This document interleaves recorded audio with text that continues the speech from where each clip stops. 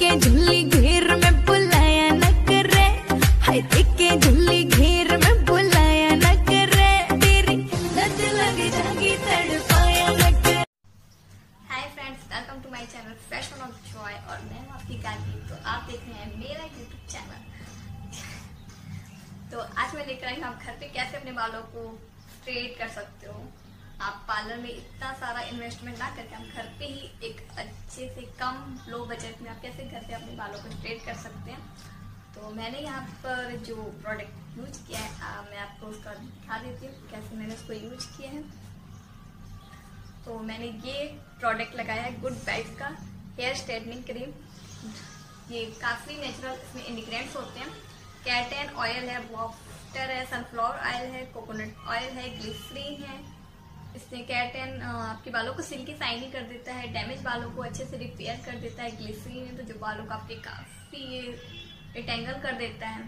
और काफ़ी अच्छा कंडीशनिंग लगा करके भी आप अपने बालों को इतना सिल्की नहीं दे पाते हैं, जितना कि हेयर मास्क लगाने के बाद आपके बालों को काफ़ी सिल्की कर देता है।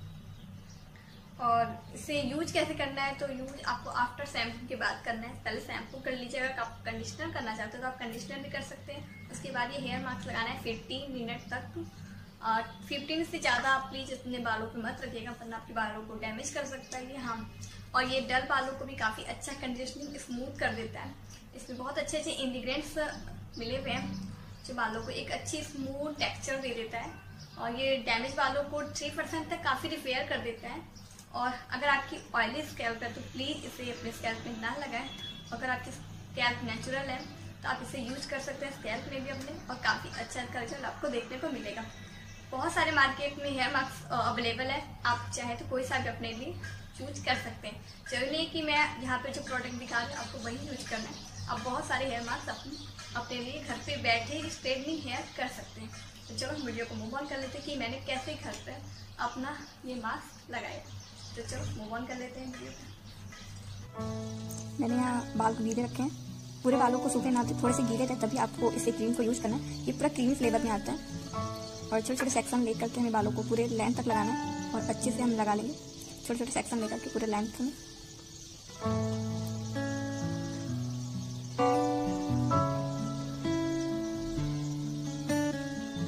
पूरे छोटे छोटे क्रीम लेकर के पूरे बालों में लगा लूँगी। लेंथ में भी काफ़ी लगाऊँगी मैं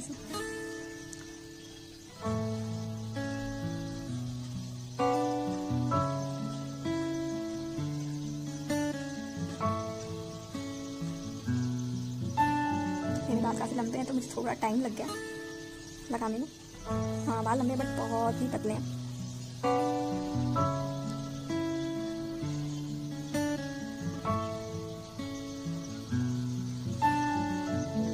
और बालों को क्रीम में लगा के अच्छी तरह से मिक्स कर लेंगे।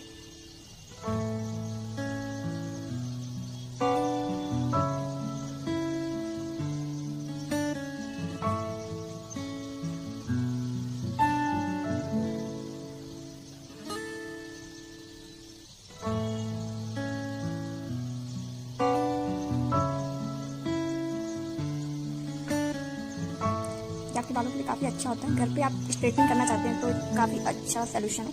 आप पार्लर में ना जाके आप घर पे अपना स्ट्रेटनिंग कर लेना। और मैं यहाँ स्कैल्प में थोड़ी देर मसाज करूँगी। मैंने यहाँ धीरे धीरे मसाज करी, मैंने वीडियो स्पीड थोड़ा बढ़ा दिया इसलिए आपको लग रहा है मैंने धीरे धीरे मसाज करूँगी स्कैल्प में और मैंने पूरे स्कैल्प में भी थोड़े थोड़े लगाए थी। क्योंकि विंटर का टाइम है तो अभी स्कैल्प मेरा ड्राई है ऑयली नहीं है तो मैं इसे यूज़ कर रही हूँ। और गर्मी टाइम मेरे काफ़ी स्कैल्प ऑयली आते तो मैं इसे अवॉइड करती हूँ। आप मेरे बालों को देख सकते हैं। काफ़ी सिल्की हो गए हैं मेरे बाल। जैसे कंडीशनर से भी इतनी सिल्की नहीं होते जितना इसने मेरे मास्क को लगाने से सिल्की यहाँ कर दिया है। और इससे काफ़ी मेरे बालों को टेक्सचर मिला है तो काफ़ी आपको स्ट्रेट लग नहीं रहोगे बट है। हाँ नीचे से बाल थोड़े से कर्ली लग रहे हैं बिकॉज़ मैंने बाल धोने के बाद तुरंत क्लेचर लगा लिया था, और बाल ऐसे राउंडिंग राउंडिंग गीले बाल रहते हैं तो वो राउंड हो जाते हैं थोड़े। तो मैंने क्लेचर लगा लिया गलती मैंने की। मैंने की, क्योंकि मैं गीले बाल, ज़्यादा देर तक खुले नहीं रख पाती, पानी और गिरने लगते हैं। और उसके बाद मुझे फिर बहुत मेहनत करना पड़ता है बार बार। टाइल्स है तरह का पानी गिरते हैं तो पूरा स्लीपिंग हो जाती है।